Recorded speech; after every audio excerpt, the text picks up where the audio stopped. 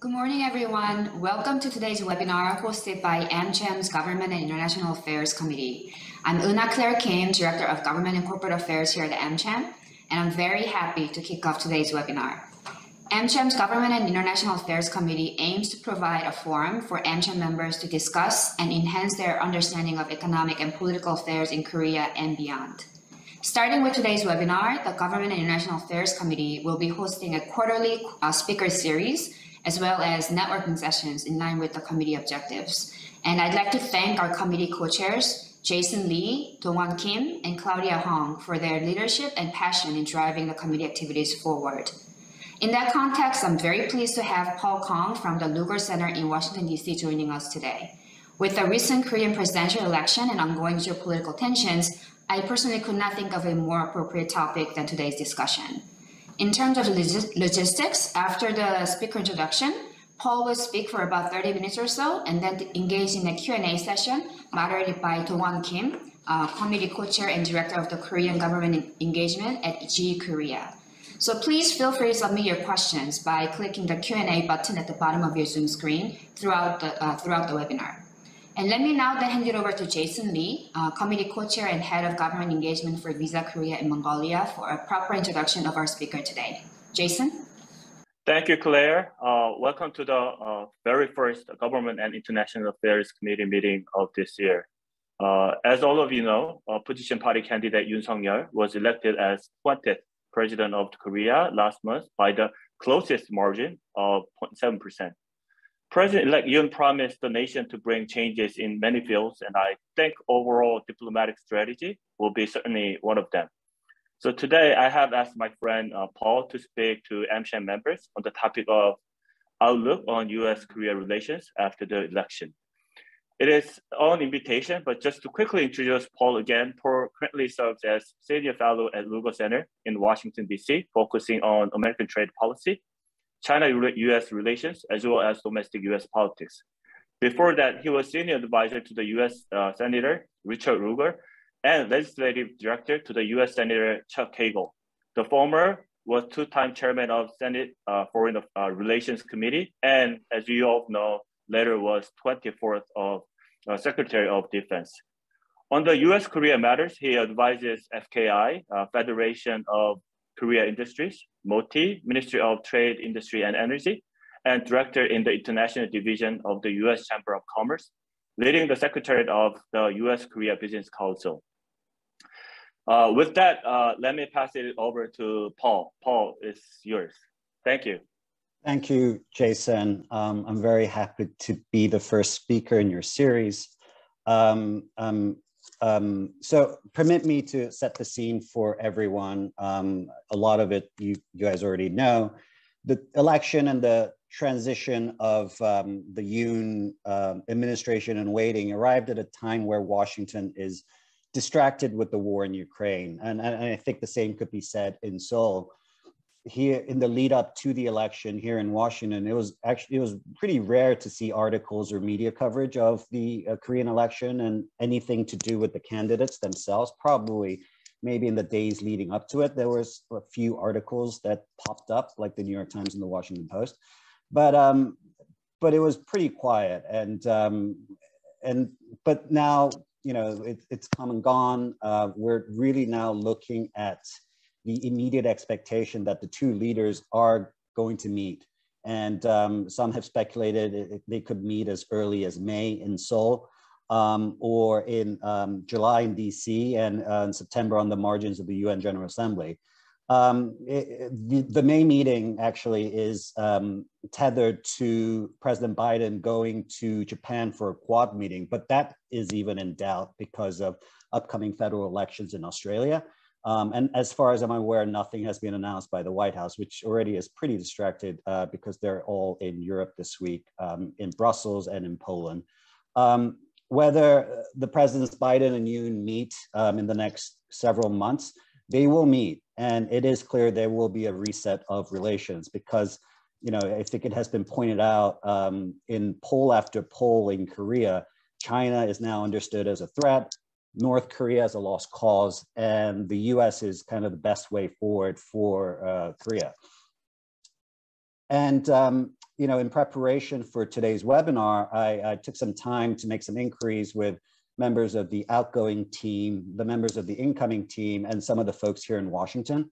And um, three items I think struck me um, in those conversations. And one was that Washington likes what they hear coming out of the Yoon camp. And, um, you know, uh, it's more in line with the thinking. And by thinking, I mean bipartisan thinking here in Washington, whether it's at the White House or in Congress. And um, the actions of, you know, it, it's, it's in stark contrast to some of the outgoing actions of the outgoing Moon administration and even Park Blue House before that. And that really shouldn't come as a surprise because, um, you know, if, if you believe in the, uh, if you believe in the saying that personnel dictates policy, a lot of the um, new personnel surrounding the president-elect, uh, whether it was on the campaign or on the transition, are, are members from the Lee Myung-bak era. And um, which, you know, some would argue was kind of the high point of US-Korea relations because KORUS got kind of pushed past the finish line after six years of negotiation in 2011. Um, you know, it was during the Obama administration, so the Green Climate Fund was something that really appealed to everyone. And then, um, and then of course, you know, he he kind of put the investment, uh, Lee Myung-bak put the investments in, in what he called global Korea, which kind of set the stage for what we know as Korean soft power, which is kind of the rage these days. Um, and the other part that struck me was talking to the outgoing Moon people is that they're of the mind that a lot of ground was covered in last year's summit at, in Washington at the White House. And, uh, and um, they, they feel pretty confident that the alliance is set for the foreseeable future. And, you know, you can quibble with that. And uh, to an extent, it's true. But then uh, you talk to the Yoon people and they're, they're of a different mind. Um, yeah, they they say yeah, a lot of the stuff was covered in um, the May summit last year between Presidents Biden and Moon, but uh, a lot of the summit deliverables haven't been carried out. And um, you know, I think the Yoon transition are making a concerted effort to make some um, right moves, at least during the transition. And you can see that with, um, and I don't know if this is going to be fully carried out, but uh, early indications are that um, they will be only sending presidential envoys to Washington and Brussels, which you know sounds great to Washington. And then if you look at the order of phone calls that the president-elect made to world leaders, uh, with probably the exception of Boris Johnson, uh, the first uh, four calls were to leaders of the Quad, so the U.S., Japan, Australia, and India. So those are things I think that gets attention, especially in Washington when these things do matter. Um, so I, I, those are kind of the three items that I took away um, in preparing for this webinar and talking to as many people as I could. So um, I think you probably have before you an outline of what I wanted to cover in the main body of my remarks. And um, I think, um, you know, I thought I'd start off by talking about what the Biden people or the White House wants to go into a meeting with their first meeting with Yunan. And of course, top of the list is going to be North Korea. It's the low hanging fruit. Um, and, and one of the things that I think the Yoon campaign wants to do is, um, you know, ramp up joint military exercises. That in itself is already going to happen um, next month in April. Um, but I think you're going to see joint military exercises uh, at the level, if not greater than the pre, pre-Moon years. Um, that's an easy, easy deliverable, um, and that appeals to both uh, sides. And then I think um, on North Korea, uh, there's an expectation that we really need to get back to the days where there is no daylight between the, both sides on policy and be lockstep on messaging. And, you know, I think the end of war declaration kind of sideshow that was, uh, that had a shelf life of five months. So since what, September of last year, and it, it kind of died a slow death. Um, I, I, just don't see um, Washington wanting to go through that. And there, you know, the Biden White House is really patient about that and kind of let it kind of die uh, a slow death. But um, th those are things I don't think Washington wants to see. Um, and I don't think um, you'll see that in with the Yoon administration coming in. On China, which is kind of the big, big, um, big thing here. Um, I, I, I, would imagine the, um, and it'll probably be covered when the presidential envoy comes, but they have to gauge um, Seoul's positions on China. What they've said during the campaign appeals to Washington um, and the White House. But, you know, like uh, actually following up on uh, further THAAD deployment, which would anger China, that's, that's a serious, serious um, move and um, would certainly take Korea-China relations back to kind of the 2016-2017 period, which wasn't pleasant for Korea, um, because it would uh, contravene um, some of the uh, agreements that Seoul and Beijing came to an understanding, um, I think in late 2017. Um, I think Washington will continue to highlight the increasingly untenable position um, of, of Seoul trying to thread the needle in trying to stay on both sides, um, um, uh, good sides. And like, Korea is not the only one uh, who, who have tried their best to do that. And I think Singapore is another example of a country that tries to stay on the, the good side of both Beijing and Washington. But I think um, the Ukraine crisis, uh, the war in Ukraine has really highlighted the fact that that is really becoming almost impossible to do. Um, and um, I think that'll be kind of something that'll be um, highlighted during any meeting. And then I think Washington, you know, kind of as a as as as as a friend and ally and a big brother would probably tell Seoul, as Japan has been kind of doing over the last couple of years, to decrease economic exposure to China. And uh, I, I, do think um, Japan is far more advanced at that right now than Korea is, but you, you'll see some of that. And I do think um, Washington welcomes kind of the liberalization of um, diplomatic talk that is going to come out of Seoul um, vis-a-vis China, um, because I think the last two administrations for sure um, have come to Washington and, and, and basically their standard line in Washington has been um, on the issue of China has been hey, you know, you are you're a top security ally. You are we have a mutual defense treaty, but you know we can't really ignore China because they are our top trading partner, and. and, uh, and it doesn't really that that line doesn't really work here in Washington because it makes you know America out to be some mercenary force. So um, I think there will be a change in kind of language being used, um, kind of the elevator talk, as you would say, um, and hopefully, um, and you know, I think the Yoon people have been saying the right things, and um, I think that will continue. Um, trilateral with Japan, I think that is, you know, need of a strong reset. I, I don't think, um, I can't remember the last time the two leaders, the Prime Minister of Japan and the South Korean President met. I think it was 2019, I want to say, could be wrong. Um, and, um, you know, I, I, think it's always the case with any new administration in Seoul that they try to start a new relationship with um, Japan. And uh, as is always the case, the wheels come off pretty quickly. And, and we'll see about that. And um, um we'll see. And then um, applauding investments in America. I think, um, you know, I think last week, the US Trade Representative, Ambassador Tai, uh, kind of on the margins of the KORUS 10th anniversary um, celebrations, uh, joined the Korean trade minister out in Michigan at an SK factory. And I, think it, it, was just another indication of how much investment um, is coming into America. Um, and a lot of it is uh, in due credit to KORUS FTA that is celebrating its 10th anniversary. Um, uh, you don't, I mean, I think a lot of you saw uh, President Biden use um, his summit meeting in May last year at the White House to to acknowledge a lot of the Korean investors' uh, investment and, and, and um, actually had, had Korean executives stand up and be applauded. And I think that will continue.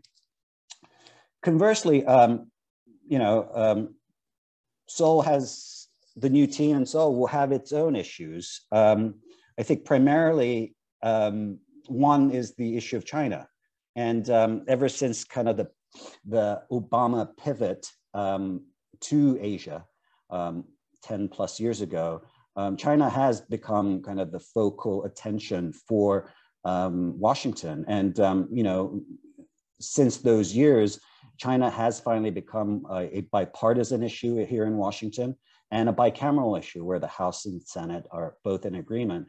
Um, the, this administration also has focused on China. They have an Asia czar at the White House um, by the name of Kurt Campbell. It, it, does appear that he hasn't been successful in in um, coming to an agreement in, interagency wise on a on a China policy.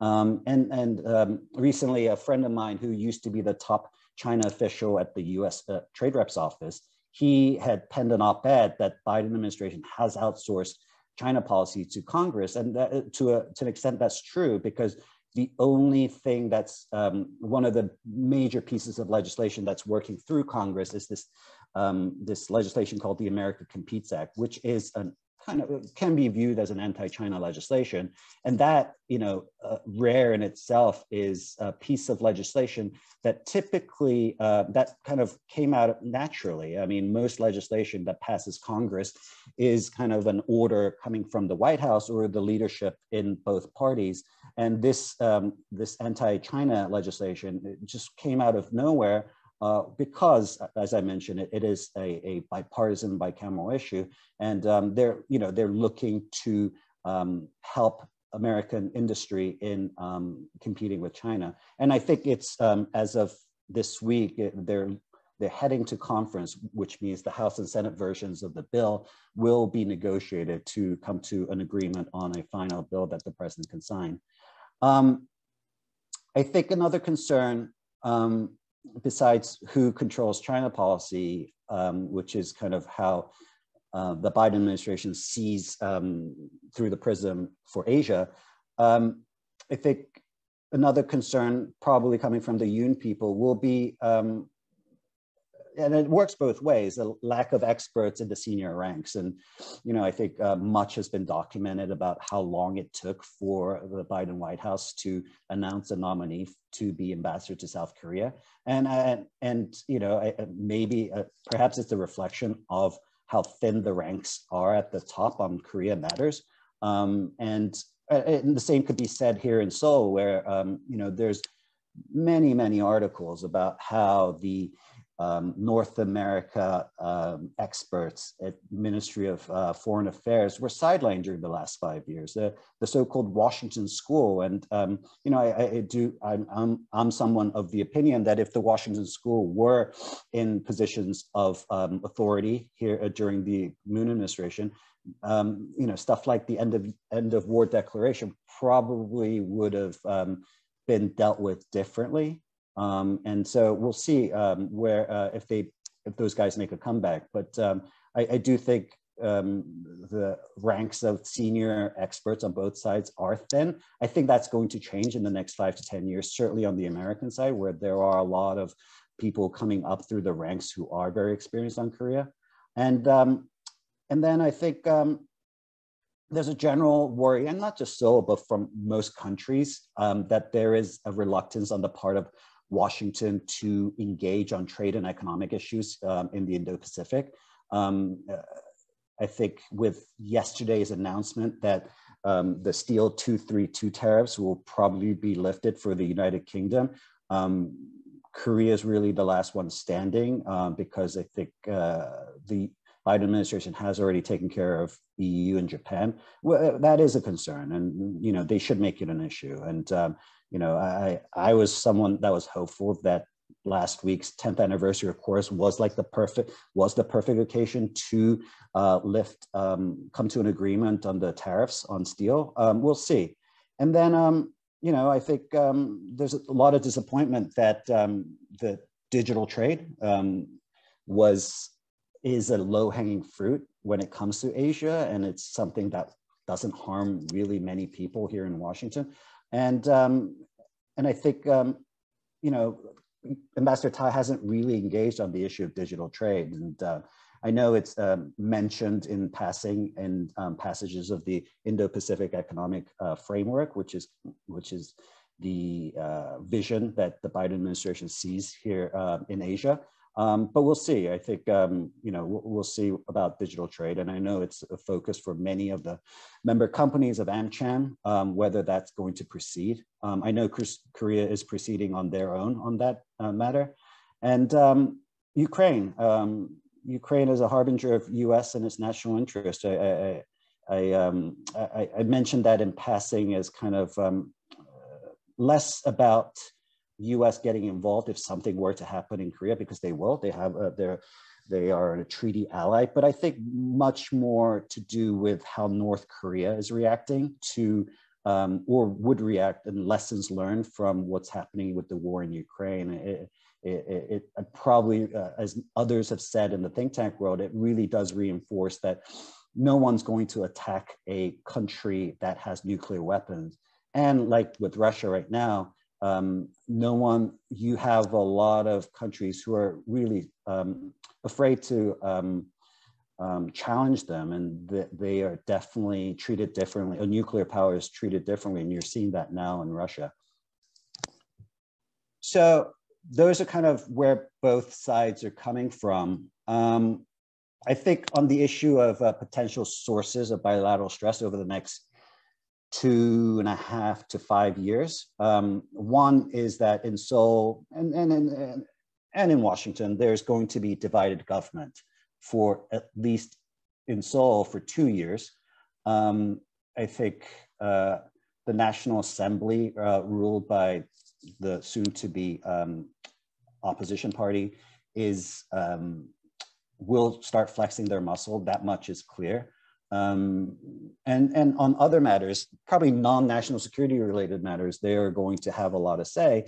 And I think here in Washington, we were pretty startled by what the National Assembly did last year on the App Store payments bill.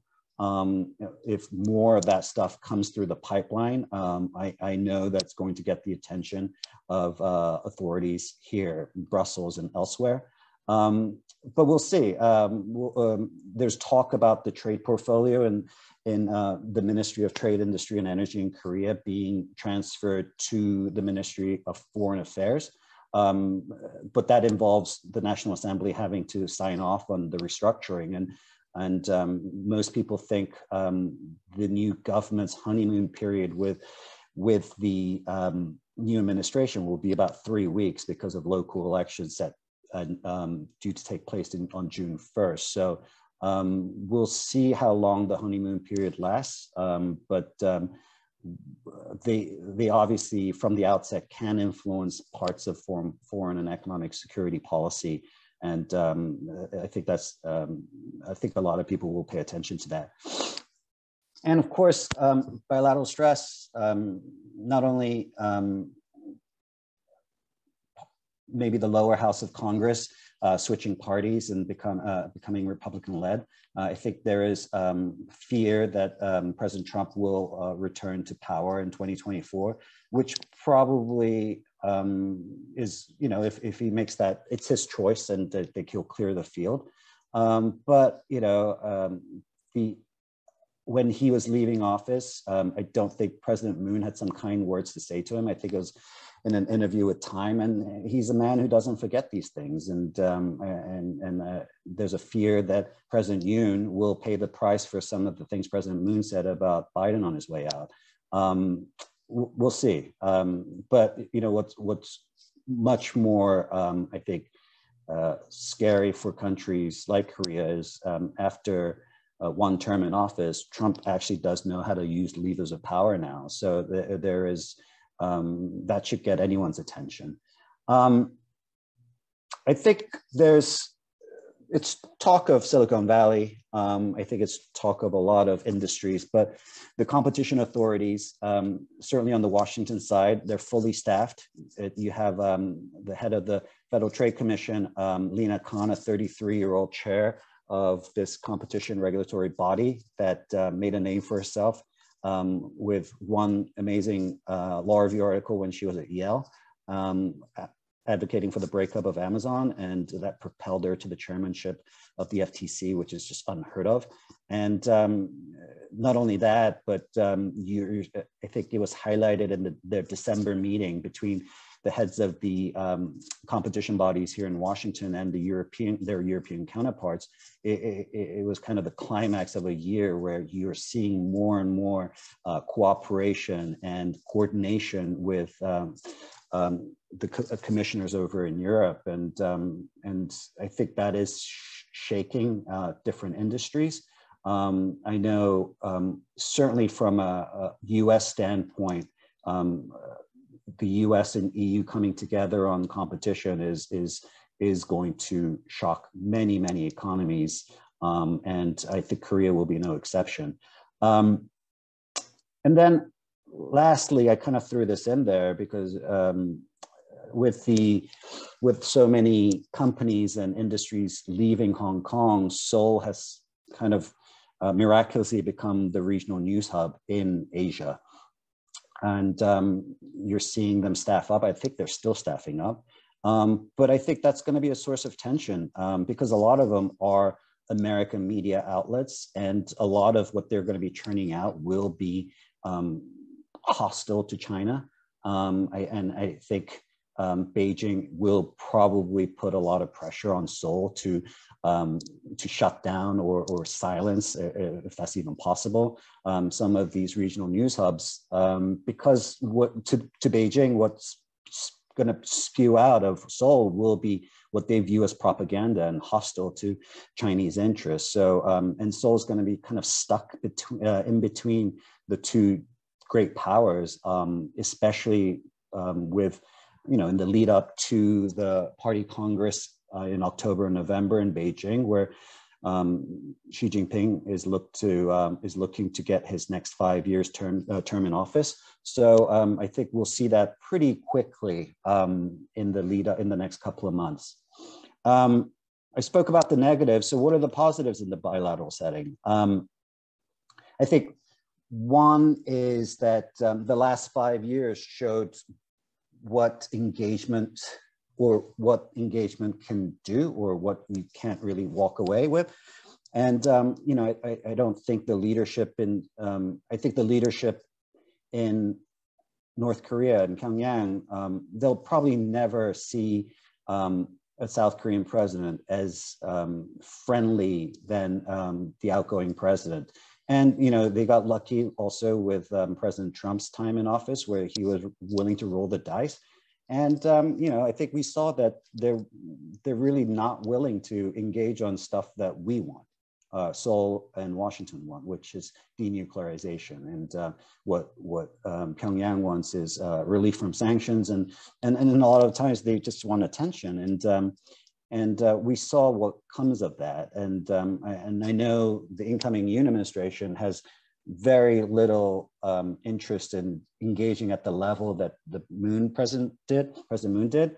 Um, and, you know, if you look at kind of the track record of the Biden administration over the last 15 months, you know, um, they were very patient. Um, they didn't give Pyongyang the kind of attention that they wanted at different times. And, uh, and um, so we'll see how that turns out um, starting in May. Um, I, I, I, they'll definitely be more coordinated um, on policy vis-a-vis -vis North Korea.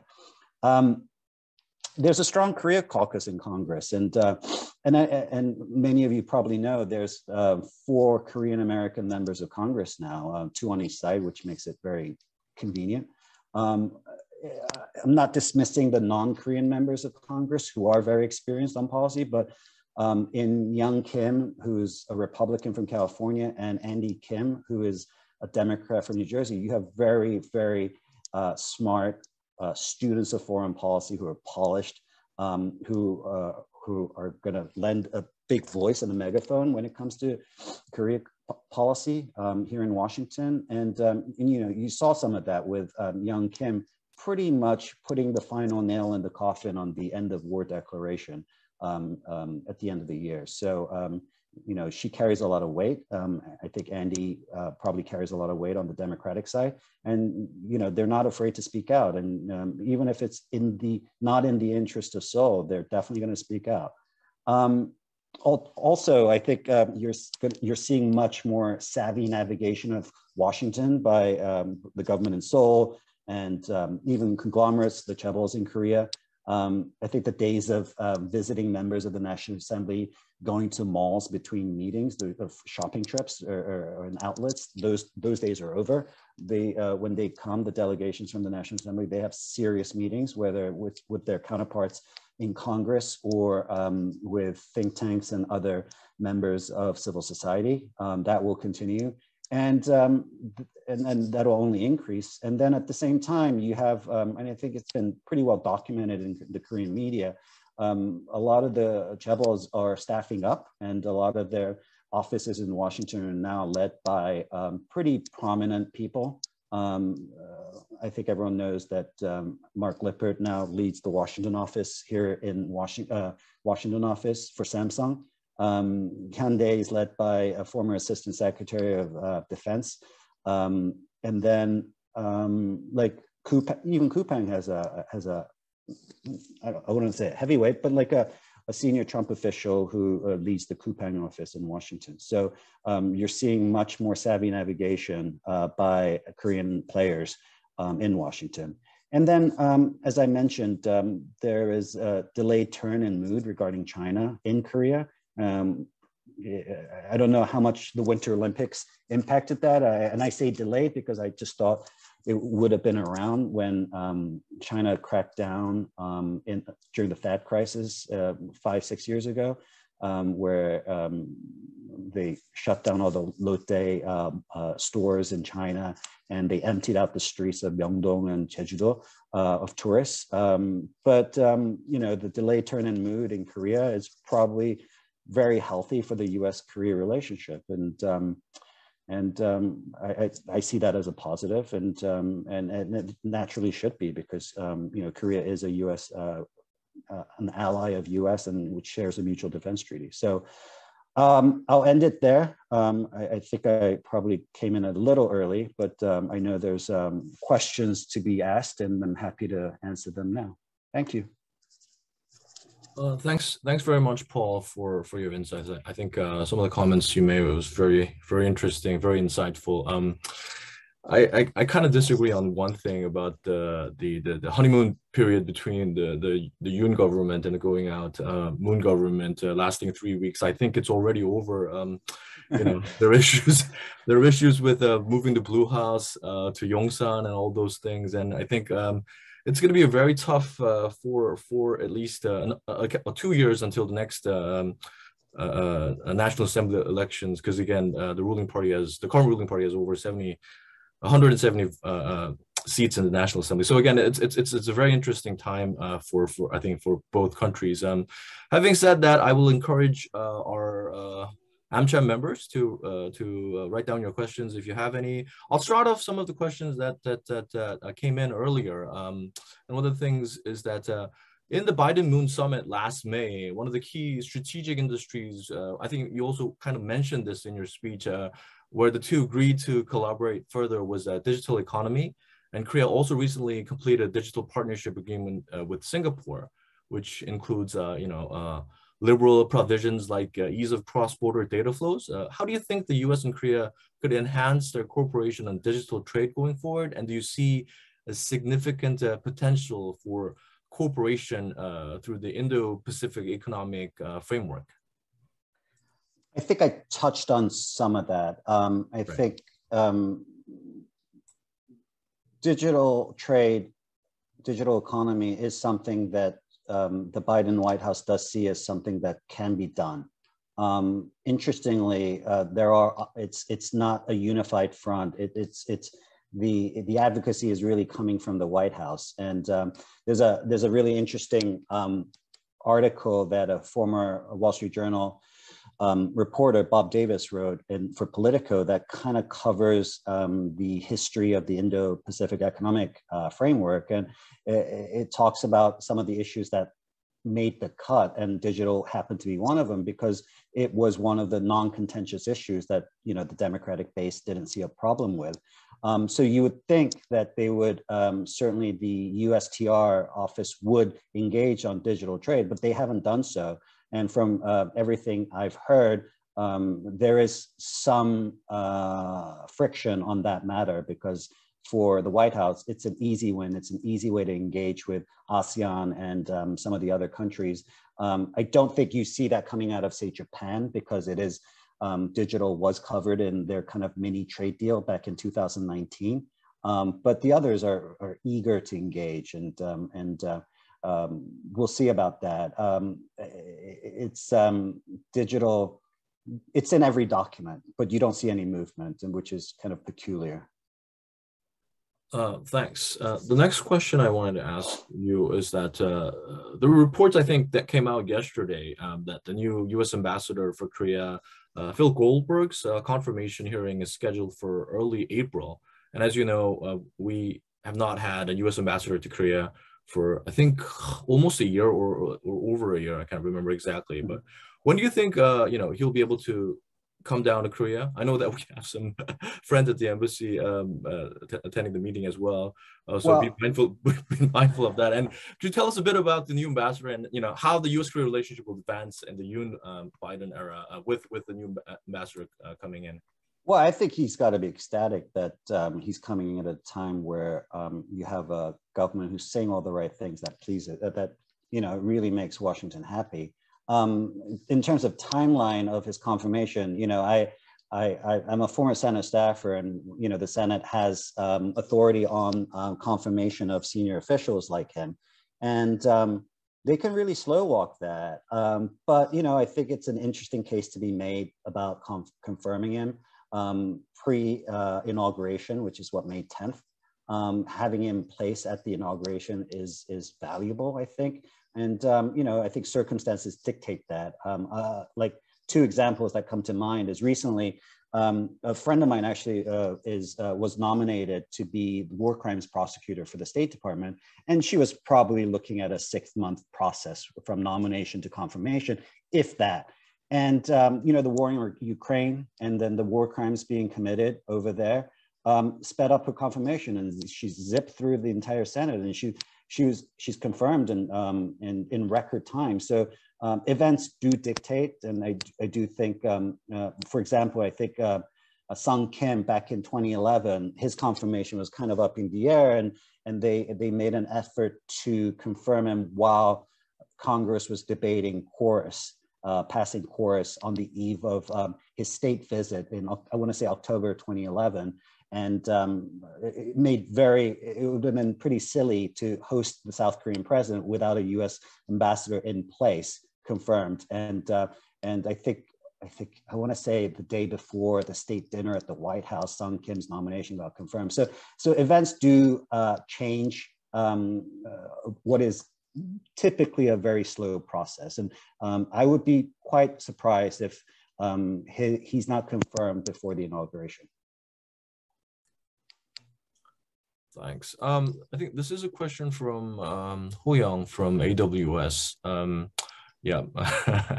um, it's reported that uh, Yoon Biden summit, well, as you, I think you also kind of briefly mentioned this in your speech, uh, will uh, there, there is a possibility that this will happen in May. And what, what are your views on the summit and expectations out of out of that summit if if that's likely to happen? Well, May Summit basically doesn't give much time for at least one side to prepare, right? They won't be fully staffed. Um, I, I, think you mentioned the move, uh, moving offices. They won't be unpacked. Um, and, you know, I mean, I think President Biden's trip to Europe this week showed you can pull off a visit in record time. I think um, he signed off on his trip to Poland 10 days ago, and he's going to be in Poland in, on Friday. So these things can happen on the fly. Um, you don't need months and months to prepare for it. It, it. Yes, it's difficult. Yes, everyone has to work overtime, but it's doable. But you know, you're going. Uh, if they meet in May, uh, they won't have, you know, the defense minister or the, foreign minister even um, their nominations confirmed by the National Assembly. So I mean, it'll be, imagine a, a, and where would he go? Um, is he going to go to the, the, the former defense ministry? Like, where would they meet? Um, I mean, I know there's, there's a lot of things that uh, an American president can do. I mean, I'm, I'm sure he'll go to Camp Humphreys. There are other things that he can do while in Korea, but where would they meet? I mean, these are very kind of um, diplomatic questions which, you know, need to be answered. Um, and, um, and uh, if they meet, it'll be, I can't imagine it'll be more than perfunctory, like a photo op, kind of a on the fly photo op. And no, you can't really have serious discussions when your your team isn't fully fully in place. Um, I have a couple of uh, security related questions. Um, okay. do you think the, I mean, the ongoing, again, this is the to hot topic for everybody, um, Ukraine and uh, the Ukraine crisis will have an impact on North Korea's behaviors and, and you know, how the US and Korea will approach uh, the new denuclearization of North Korea going forward. I mean, it's, it's, I think this is like on top of everybody's mind right now, not just in Korea, but in the US as well. Yeah, I mean, I, have um, there's been several think tank events um, on related to this, and uh, and I, I, don't think I'm saying anything new, but um, um it, it, I feel, uh, as I think I mentioned before, I think the crisis in Ukraine reinforces some of uh, Pyongyang's positions on um, having nukes, right? Um, if you have a nuke, you're not going to get invaded. If you if, if if you if you don't have a nuke, you'll just get easily invaded, like attacked uh, like Ukraine has. And then, um, you know, uh, President Putin was quick to kind of use, uh, threaten the use of nuclear weapons that got a, a lot of people's attentions. And, and um, you saw Europe and um, Washington, Brussels and Washington drawing red lines so it wouldn't escalate any further. And, and you know, with nuclear weapons, uh, a nuclear weapon state can do that. So, I mean, it just, I think if anything, it reinforces what they probably see on any uh, crisis on the Korean Peninsula. Um, I, I, think hopefully um, the new Yoon administration takes the road that um, um, the Biden administration has taken with uh, North Korea over the last 15 months, which is really just patience, patience, and just um, engaging in kind of very small dialogue with them or trying to get them out. Um, but you know, from the standpoint of Washington, even the non-proliferation nuclear issues, it's secondary to kind of some of their diplomacy right now happening vis-a-vis Iran. I think um, they want to re they are re-engaging. They're they're trying to get um, Iran to um, to really not cross the threshold. And uh, I think a lot of attention is on Iran right now. And uh, you know, um, as North Korea, um, you know, sends projectiles up in the air, um, you know, pretty frequently, you don't see Washington in like panic mode. And I think that will probably continue. Um, and I'm sure Washington is also hoping that Beijing steps in kind of later in the fall when um, as I mentioned, the 20th Party Congress will take place, um, which will be, you know, for Beijing, uh, uh, uh, an enthronement, a crowning um, of a third term for Xi Jinping, and they just won't allow North Korea to make a big fuss surrounding um, the events of the Party Congress in, in late fall, October and November. Thanks. Um, I think you also kind of mentioned it, but this question came in from Tyler Wan of um, K&L Gates, mm-hmm. and uh, it's about it's a question about IPEF. Um, MOTIE has spoken positively about IPEF, and uh, he wanted to know more about your views on the IPEF and how do you see this playing out between U.S. and Korea, and also uh, with with China. Um, I think so um, one of the things I, I, probably didn't mention is, um, and I think many of um, the people in this audience know, is the outgoing um, Moon administration has um, not formally applied to join uh, C, CPTPP and um, was adamant on consulting with whoever was elected in, in filing its application in April um, that kind of on the backs of just full knowledge that Washington is not interested in, in CPTPP. And um, IPEF, the Indo-Pacific Economic Forum, is the only rodeo right now of how Washington is going to engage with the Indo-Pacific. Um, it's it's really um, it, it's a kind of if you know from the standpoint of um, Seoul, it's really interesting because you know they're, they're going to make some great investments in trying to become members of IPEF. Probably going to ask um, Washington's help in um, in in getting in uh, with difficult members like Japan. I imagine is going to make things quite difficult for membership, um, and Washington is going to be key in um, in helping Seoul. Um, but you know, I, I don't think kind of it's in the interest of Washington to help Seoul join CPTPP because they're not even joining, they're not a member and they're not really interested in joining. Um, so IPEF is the only rodeo in town, but like you read through their announcements, um, it, it's still not kind of, um, you, you kind of have a skeletal frame. You're, you're just not sure how much they're going to invest in it. Um, we'll see in the coming months how much they do invest in it. I mean, um, they're allowing APEC to take the lead on some of these issues that they've outlined. Um, we'll see. Um, it, it, it, I, would like to tell Tyler, it's, I think it's too early to um, to really. I mean, we don't even have a coordinator, right? I mean, I think um, when you have assigned two agencies, in this case, um, the Department of Commerce and USTR, to do jointly do this, like those things never work out. I mean, it's it's just it's it's kind of a fool's errand. And um, yeah, I I have views. I, I, probably isn't really formed yet on the future of IPEF, but, but I think um, since it's the only um, show on in town, I, I do think Washington um, Seoul needs to engage and see where this goes because it might it might count for nothing or um, it you know it might be kind of the the economic piece of a quad thing and um, who knows where, where things are going to go.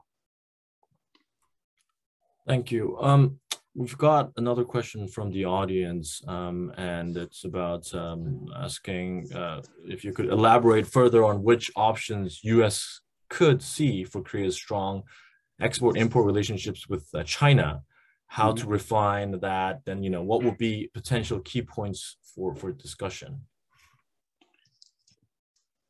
On in a in conversations between the U.S. and Korea. I think that's the the yeah the, the... well um I think one thing the Ukraine war has really highlighted for the Korean government is on a on a whim um, export control kicks in and life becomes really really really difficult. Um, and while Russia Russia's impact on the Korean economy is very, very minimal. Um, and, and I, when I mean minimal, I, I don't want to uh, kind of uh, dismiss, you know, six percent um, uh, energy imports as minimal, but like um, it could be much, much severe if such measures were applied to China. And, and, and the threats are out there right now. If, if China gets heavily involved in the war in Ukraine, these things are, are um, are kind of around the corner. And I think the Korean government knows that. And, and if they're smart, they're preparing for that. Um, and I think, um, you know, and, and we'll see how long the Russian economy survives because, um, you know, I think the US Department of Commerce is getting really, really good at this now. I mean, uh, I think everyone knows what happened to Huawei. Um, and uh, Huawei examples is a clear kind of scalp that everyone can see as what happens when Washington actually gets gets it straight.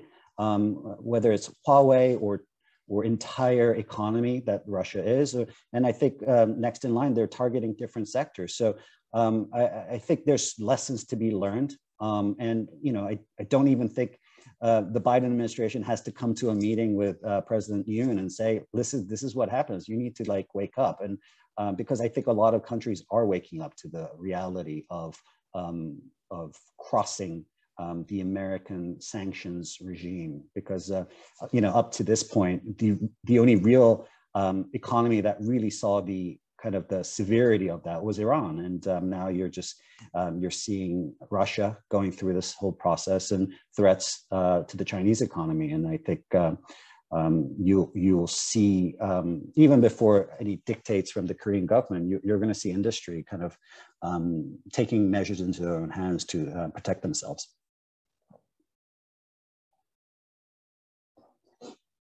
Thanks, thanks for that, Paul. Um, this question came in from Hana Myung. Um, uh, her question is, do you think there's possibility or is it appropriate protocol for USTR to convey its official position to the Presidential Transition Committee on some of the trade barriers coming from excessive regulations of Korea and certain industries, you know, as you commented uh, on KORUS FTA, the, the 10th anniversary, uh, some of the issues that Ambassador Tai picked up uh, that Korea should improve including issues on automobiles, flexible regulations in agriculture, biotech, so forth. So is these something that should be considered in a positive way by the new government?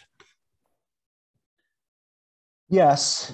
Um, but at the same time, I think, um, you know, um, if you read Korean media reports, and I'm sure USTR is the same way, um, you're going to see a fundamental restructuring of the trade portfolio. And where it lands is, is, uh, is anybody's guess. Um, but um, in terms of USTR engaging with the Yoon transition, I, I just don't see it. Um, of course, the, uh, you know, and even when they send um, the presidential envoy, I can't imagine the U.S. Uh, uh, the Korean presidential envoy who comes to Washington, I think, um, later uh, next month, um, will be meeting with every cabinet official. Um, I, I, I, think they may, uh, he or she may uh, meet with uh, Ambassador Tai. Certainly, will try to. I mean, it probably makes sense to meet more with um, Secretary Raimondo, who's the uh, Secretary of Commerce, because of kind of her and her department's role in um, export control uh, vis-a-vis Ukraine. Um, but um, I, I, I, just don't see um, any dialogue happening anytime soon. Um, and, you know, I think um, last week's events surrounding the 10th anniversary was probably the last Korea was going to see of Ambassador Tai for, for a couple of months now. And I think She's um, she has other um, items on her agenda, and um, I don't see um, uh, unless it's kind of recruiting Korea to be a full-fledged member of um, IPEF. Uh, I, I, I, just don't see much engagement, in the, at least in the immediate future. Oh yeah, thanks.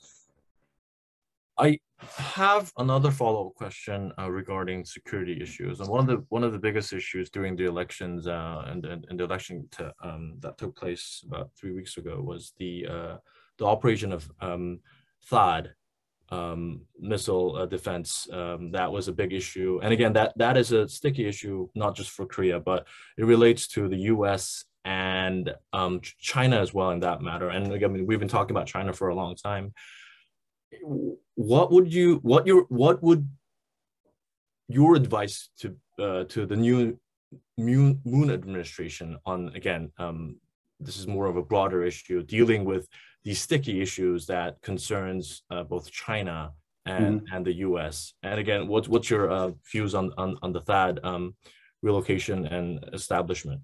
Well, on THAAD, a further deployment of THAAD runs in direct contravention of the agreement from 2017, where um, I think Seoul wore out Beijing's patience, like Korea One, where um, China like backed down and just accepted the that that was placed put in place that started the whole thing.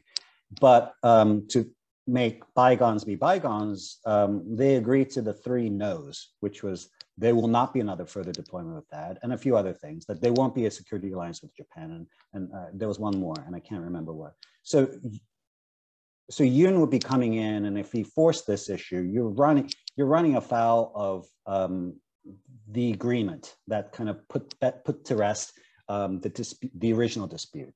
Um, but you know, I, I, I think I think I think the Australia model in recent years, where like economic coercion work to a, a, degree, and if you just weather it, like they they'll eventually back down. Uh, if that's the calculation, um, and Korea is willing to do that, I, I, you know, bravo to uh, President Yoon. Um, but I think he has to prepare the country for another kind of uh, period of hardship. And um, if they're willing to do that, I, I, think they should. And I think America should be much more supportive um, than they were um, during the original THAAD crisis because the, the help didn't really come in uh, from the Obama administration. And yes, it was in the last years of the Obama administration, but um, the help, at least um, either vocally or visually, wasn't there. And, um, and I, I, can't imagine if they were to do that again, um, they wouldn't do it without strong kind of assurances from Washington that they would back them up. And um, I, I, I, think um, if I were to advise them, that that's something that should be um, that would be the smart move is is get assurances that this they're not going to be kind of uh, flying solo on that.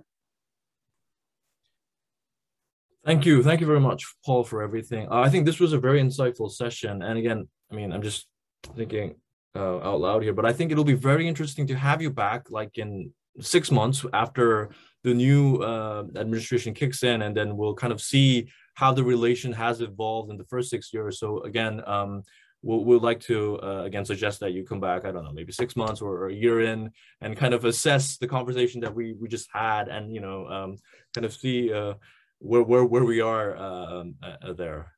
I would be happy to do that. I would be happy. Um, this was this was a lot of fun. Thank you very much. Uh, Clara, do you want to close off um, with your closing remarks? Yeah. Well, thank you. Thank you so much, Paul, for your very insightful and I would say very comprehensive um, presentation uh, on issues ranging, ranging from security to trade to economy. I mean, uh, clearly you're an expert on, on the, in the field, and uh, we really appreciate uh, your insights and uh, we, you know, very enlightening Q&A session as well.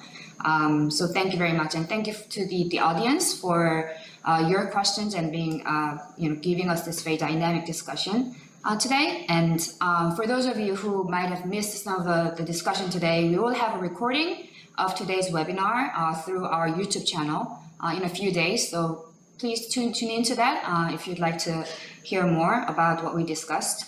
And also, if you have any questions about our Government and International Affairs Committee, please feel, feel, uh, feel free to reach out to our committee co-chairs, Duan, uh, Jason, or myself, uh, and we'll be happy to engage you on that.